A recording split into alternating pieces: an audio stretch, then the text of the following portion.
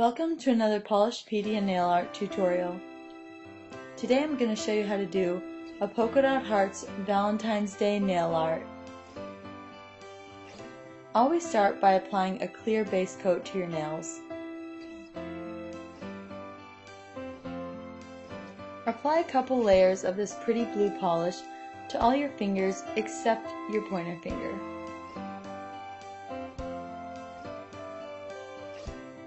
On your pointer finger, apply a pretty pink polish.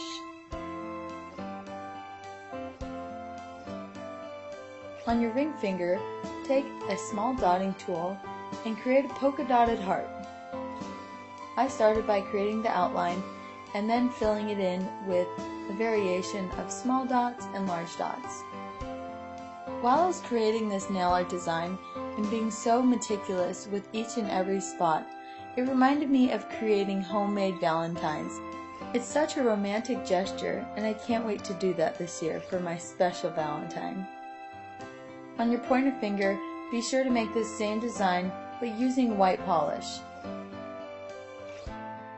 On all your other fingers, create a variation of widely spread apart polka dots and small polka dots in between the large ones.